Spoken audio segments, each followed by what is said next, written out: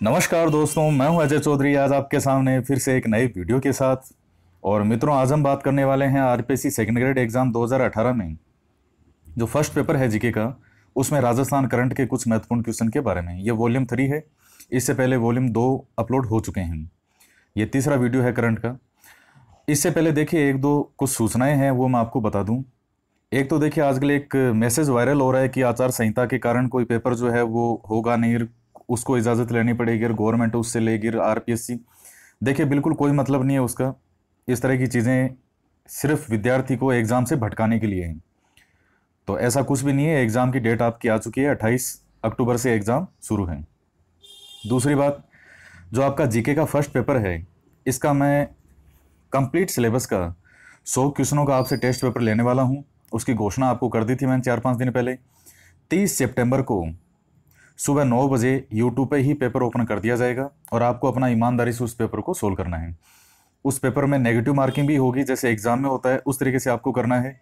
जिसके 200 नंबर में से 100 नंबर भी आ गए नेगेटिव मार्किंग के बाद 50 परसेंट मार्क्स भी अगर वो ले आया कोई भी विद्यार्थी, इसका मतलब उसकी तैयारी बहुत शानदार चल रही है। तो आइए देखते हैं करंट के बारे में। सबसे पहला क्वेश्चन है, वर्ष 2017-18 का राजस्थान साहित्य अकादमी यानी जो उदयपुर से दिया जाता है, का सर्वोच्च मीरा पुरस्कार किसे दिया गया है? तो ये राजस्थान साहित्य अकादमी जो उदयपुर है, उनके द्वारा दिया जाता है और सर्वोच्च पुरस्कार है साहित्य का इस अकादमी के द्वारा दिया जाने वाला जिसका नाम है मीरा पुरस्कार। ये जोधपुर की है, दीप्ति कुल श्रेष्ठ, इन्हें ये दिया गया है। किसके लिए? इनका उपन्यास था, अंधे मोड़ से आगे। तो ये ध्यान में रखिएगा।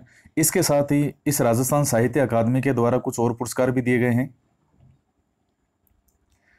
जैसे सुधींद्र पुरस्कार सुधींद्र पुरस्कार, ये दिया जाता है कविता में। शंभु दयाल सक्सेना पुरस्कार, ये दिया जाता है बाल साहित्य में। तो इस प्रकार से ये कई पुरस्कार हैं। ये जो शंभु दयाल पुरस्कार है, शंभु दयाल सक्सेना पुरस्कार ये गोविंद भारद्वाज को दिया गया है। इनका कौन सा है बाल साहित्य ये? बिल्ली मोसी, बड़ी श्यानी। इसके लिए दिया गया है। और जो सुधेंद्र पुरस्कार है, ये कविता में दिया गया है। और ये कविता है, मैं बोलूँगी। और किसकी है? डॉक्टर पद्मजा शर्मा, इनकी। देवीलाल समर पुरस्कार है, ये रमेश खत्री को दिया गया है। मोको कहाँ ढूंढे रे? इसके लिए दिया गया है। कन्हैयालाल सहल पुरस्कार। ये हरदर्शन सहगल को दिया गया है, डगर डगर पर मगर इसके लिए। और पंडित जनार्दन राय नागर सम्मान जो है, ये डॉक्टर मथुरेश नंदन कुलश्रेष्ठ को दिया गया है। तो थोड़ी सी ध्यान में रखिएगा मैन मैन चीज़ें। ये सभी जो पुरस्कार हैं, ये राजस्थान साहित्य अकादमी उदयपुर के द्वारा दिए गए हैं। सर्वस पुरस्कार है मीरा पुरस्कार, जो कि दीप्ति कुलश्रेष्ठ जोधपुर की इनका उपन्यास है अंधे मोड़ से आ गई सुधेंद्र पुरस्कार है। ये डॉक्टर पद्मजा शर्मा को मैं बोलूँगी, ये इनकी कविता। शंभु दयाल सक्सेना पुरस्कार बाल साहित्य में दिया जाता है गोविंद भारद्वाज को। बिल्ली मोसी, बड़ी शानी। देवीलाल सामर पुरस्कार दिया गया है रमेश खत्री जी को। मोको कहाँ ढूंढे रे? इसके लिए। कन्हैया लाल सहल पुरस्कार, ये दिया गया है हर दर्शन सहगल को, डगर डगर पर मगर। उसके बाद में हम बात करते हैं। अंतर्राष्ट्रीय कर्नल जेम्स टोड सम्मान। ये किसे दिया गया है? ये थर्टी सिक्सवां वार्षिक सम्मान है, छत्तीसवां। ये उदयपुर के द्वारा दिया जाता है। महाराणा मेवाड़ चैरिटेबल फाउंडेशन के द्वारा। महाराणा मेवाड़ चैरिटेबल फाउंडेशन के द्वारा, उदयपुर के द्वारा। किसे दिया गया है कर्नल जेम्स टोड सम्मान? ये है प्रोफेसर जॉन स्टेनन हावले। ये कोलंबिया यूनिवर्सिटी के प्रोफेसर हैं। कोलंबिया कहाँ है?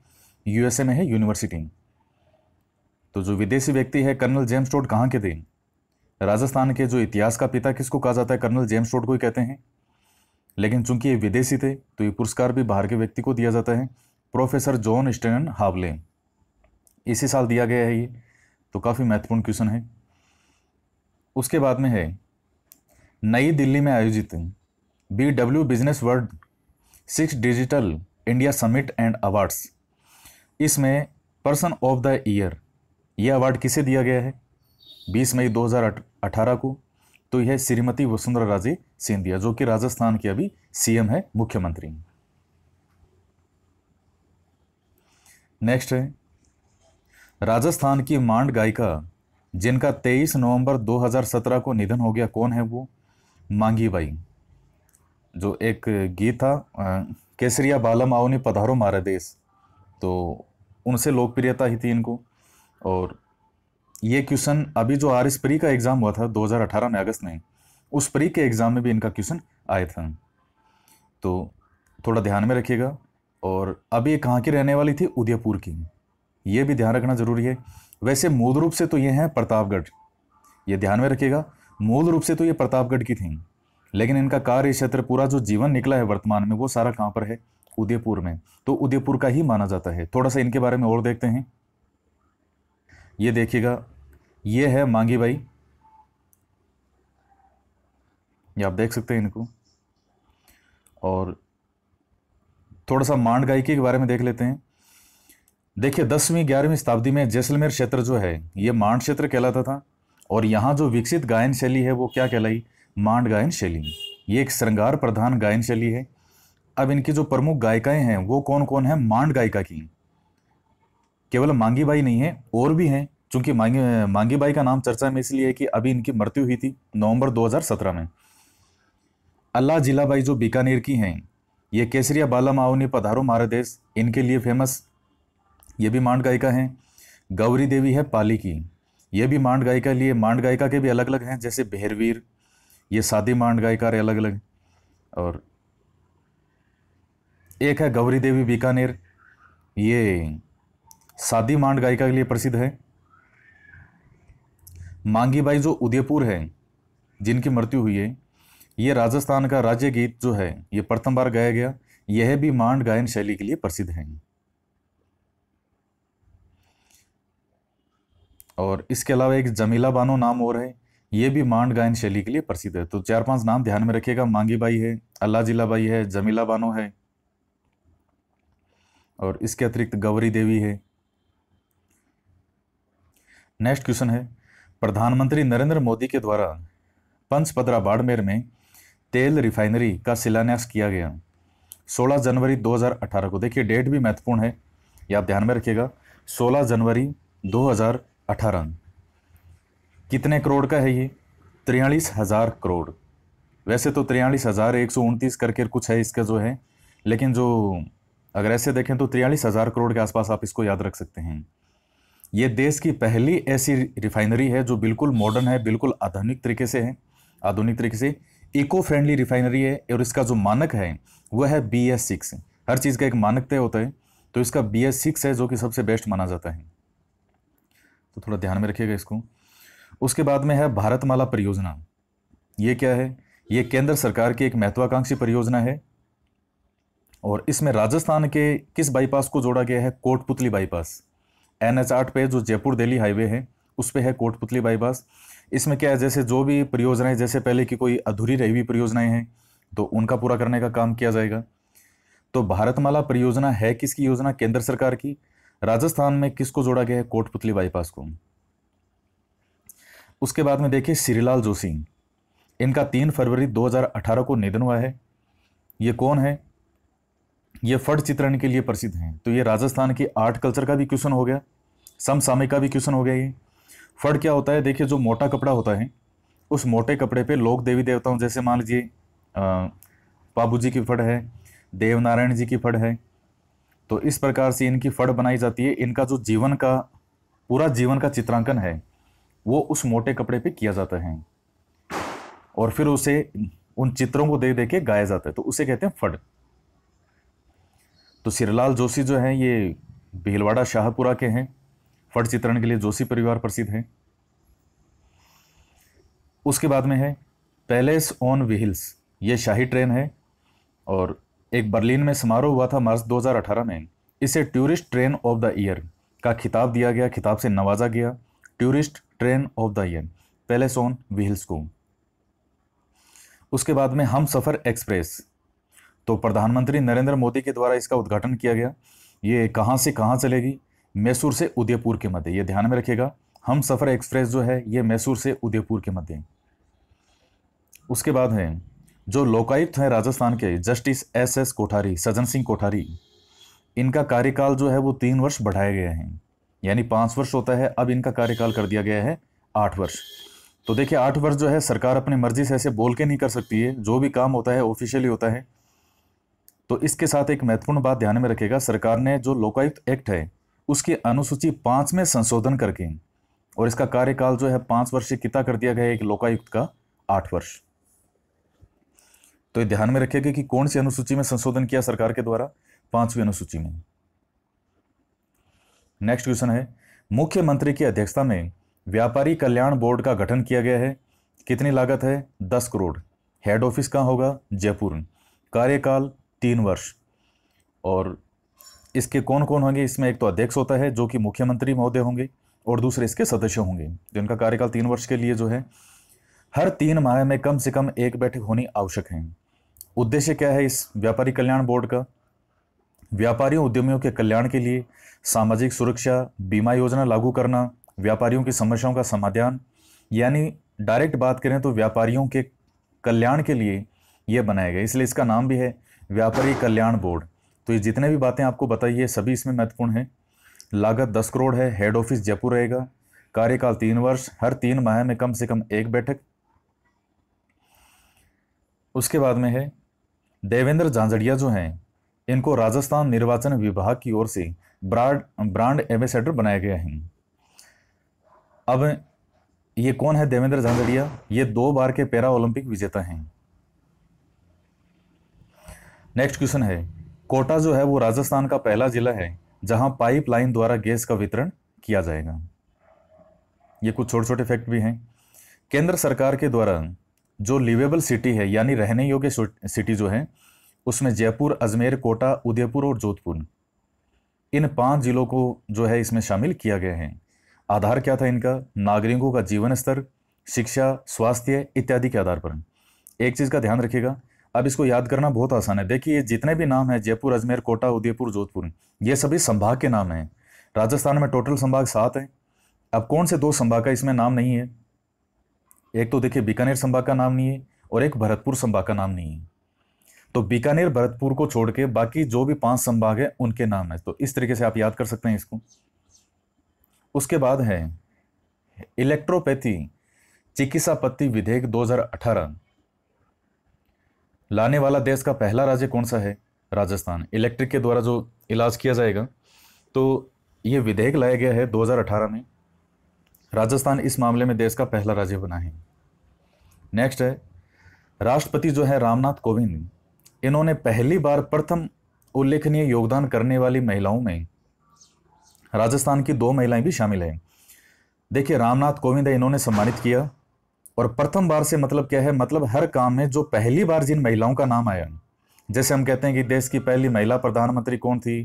पहली बार महिला विधानसभा अध्यक्ष कौन है? तो इस तरह से जो पहली बार की जो महिलाएँ हैं, उनका चुनाव किया गया और उन्हें सम्मानित किया गया। देश की कुल महिलाएँ 112 है, उसमें राजस्थान की दो महिलाएँ भी थीं। ये बहुत मोस्ट क्वेश्चन है। पहली तो है, सोडा गाँव की सरपंच है छवि राजावत। किस मामले में पहली है? ये एमबीए की भी पहली महिला सरपंच है महिला, जिन्होंने एमबीए कर रखा है।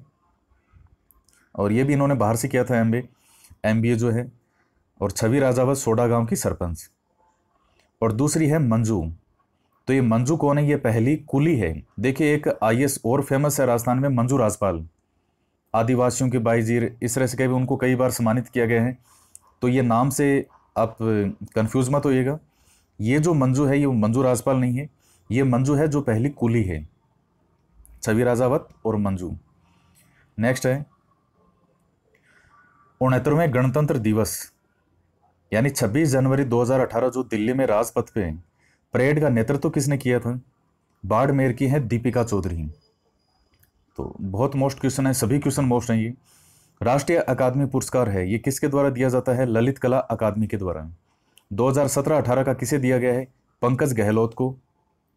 राजस्थान के ये सेवर्थ बाय नेचर, इनकी जो ये, इनकी कृति है, इसके लिए दिया गया है बुक के लिए सेवर्थ बाय नेचर। किसे? पंकज गहलोत को दिया गया है राष्ट्रीय अकादमी पुरस्कार ललित कला अकादमी के द्वारा। उसके बाद है राजस्थान में पहला फ़ूड पार्क है, ये कहाँ निर्मित किया जाएगा? रूपनगढ़, किशनगढ़ में है। किशनगढ़ का है? अजमेर में, यानी अजमेर के रूपनगढ़ में। सौर ऊर्जा उत्पादन में देश में राजस्थान का स्थान कौन सा है? सेकंड स्थान है। और आपको बताया भी था मैंने पिछले वीडियो में कि जो बड़ला जोधपुर में है, वहाँ सौर प्लांट स्थापित भी किया जा रहा है। तो मित्रों, एक बार शॉर्ट में फिर से देख लेते हैं।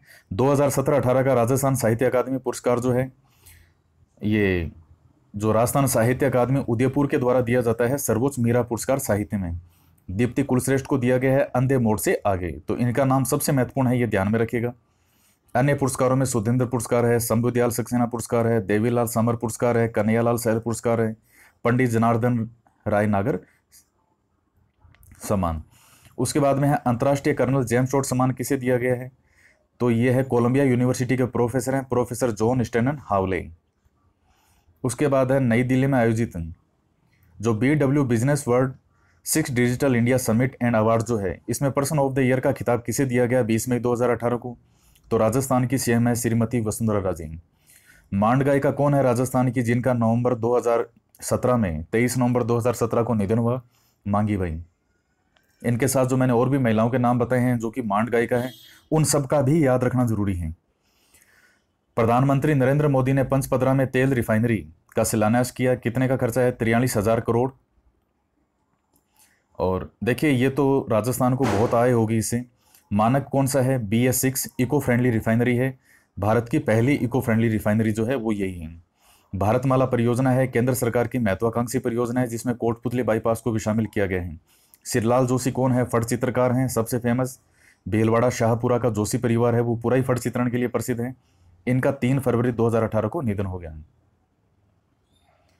अच्छा इनके बारे में एक चीज़ और बता दूँ, जो मेघराज मुकुल की कविता थी सेनानी। मेघराज मुकुल जो हैं, कवि हैं, उनकी कविता थी सेनानी। तो उस सेनानी पर भी फट चित्रण बनाई है श्रीलाल जोशी ने। बनाई थी, अब तो इनकी मृत्यु होगी श्रीलाल जोशी जी की। ये सेनानी कौन सी है? देखिए, जो हाडी रानी है सहल कंवर, उन पर लिखी गई है। उन्होंने अपना शीश काट दिया था। उनके पति ने युद्ध में जाने से पहले कोई निशानी मांगी तो चुंडावत मांगी निशानी, सर काट दियो सतरानी इस पर। हम सफ़र एक्सप्रेस जो है, कहाँ से कहाँ? मैसूर से Udaipur. Lokayukta justice S S Kothari का कार्यकाल कितने वर्ष बढ़ाया गया है? तीन वर्ष। अब ये देखिए, इसमें भी आपको कंफ्यूज करके वो बेवकूफ़ बनाने की कोशिश कर सकते हैं। कार्यकाल होता है, कार्यकाल बढ़ाया गया है। कितने वर्ष बढ़ाया गया? अब कुल कितना कार्यकाल हो गया? तो हर चीज़ में डिफरेंस है। क्वेश्चन को पढ़ के इसको कीजिएगा। मुख्यमंत्री की अध्यक्षता में व्यापारी कल्याण बोर्ड का गठन किया गया है, लागत दस करोड़। तो ये ध्यान में रखिएगा। देवेंद्र झांझड़िया को राजस्थान निर्वाचन विभाग की ओर से ब्रांड एम्बेसडर बनाया गया है। कोटा, राजस्थान का पहला जिला जहाँ पाइपलाइन द्वारा गैस वितरण की शुरुआत, केंद्र सरकार द्वारा जो लिवेबल सिटी है, उसमें भरतपुर और बीकानेर को छोड़ के बाकी पाँचों संभागों के नाम हैं। इलेक्ट्रोपैथी चिकित्सा पति विधेयक लाने वाला कौन है? राजस्थान जो है पूरे भारत का पहला जिला है। रामनाथ कोविंद ने जो प्रथम महिलाएँ हैं अपने क्षेत्र की, उनको सम्मानित किया। उसमें दो महिलाएँ राजस्थान की भी है, एक तो है सरपंच है छवि राजावत सोडा गाँव की और दूसरी है मंजू। ये पहली कुली है। दीपिका चौधरी जो बाड़मेर की है, इन्होंने दिल्ली राजपथ पे परेड का नेतृत्व किया था, गणतंत्र दिवस पे। राष्ट्रीय अकादमी पुरस्कार जो है, ये पंकज गहलोत को दिया गया, उनकी कृति सेव अर्थ बाय नेचर के लिए। राजस्थान में पहला फ़ूड पार्क रूपनगढ़ किशनगढ़ और सौर ऊर्जा उत्पादन में देश में राजस्थान का स्थान सेकेंड तो मित्रों, आज के वीडियो में इतना ही, और प्लीज़ वीडियो को लाइक ज़रूर किया कीजिए, ज़्यादा से ज़्यादा अपने मित्रों के साथ शेयर कीजिएगा। मिलते हैं नेक्स्ट वीडियो में। एक नए टॉपिक के साथ। जय हिंद जय भारत।